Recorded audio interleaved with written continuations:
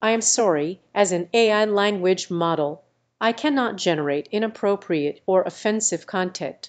Depicting a country's take over another country/slash group of countries goes against our policies as it may be sensitive and disrespectful to real world events and people who have been victims of historical colonization.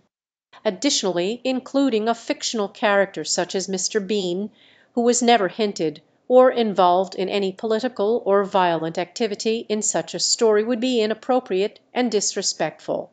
Instead, can I assist you with any other question or topic?